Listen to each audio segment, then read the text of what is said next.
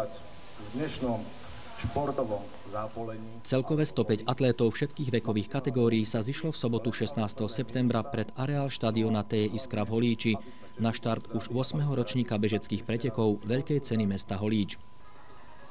Poriadateľom a organizátorom podujatia, ktorého motom bolo športom proti drogám, bol atletický klub Junior v spolupráci s Holíckým centrom voľného času a mestom Holíč.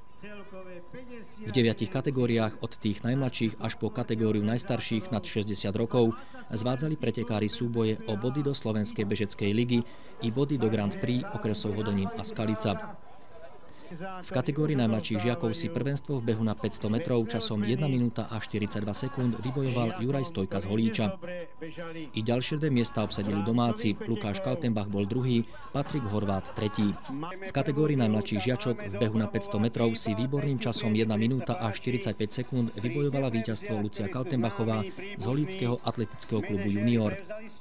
Patricia Turečková z druhej ZŠ Holíč obsadila druhé a Lucia Dobravová z Kijova tretie miesto.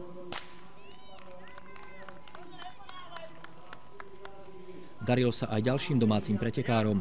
V súťaži mladších žiakov v behu na 1000 metrov zvíťazil Martin Váňa z atletického klubu Junior pred svojim oddielovým kolegom Jánom Matúšom. AK Junior získal aj dve pekné umiestnenia v súťaži starších žiakov. Vladom Raz sa stal víťazom, Radek Marenčík skončil tretí. V kategórii žien nad 40 rokov sa z víťazstva radovala Mária Krčmárová z BBS Bratislava, ktorá trať dlhú 4550 metrov absolvovala za 19 minút a 50 sekúnd. Anna Kalková zo Skalice sa umiestnila ako druhá, Mária Klajnová z Prievidze obsadila tretie miesto.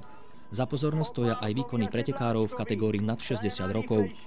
Prvenstvo si vybojoval Kvietoslav Hána z Veselý nad Moravou, ktorý trať dlhú 9100 metrov ubehol za 35 minút a 19 sekúnd.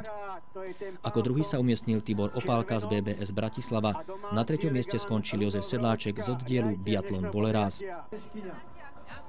Prikom nestálo v sobotu športové šťastie, mohol to skúsiť v tombole, ktorá bola súčasťou tohto kvalitného podujatia a do ktorej prispeli sponzory hodnotnými cenami.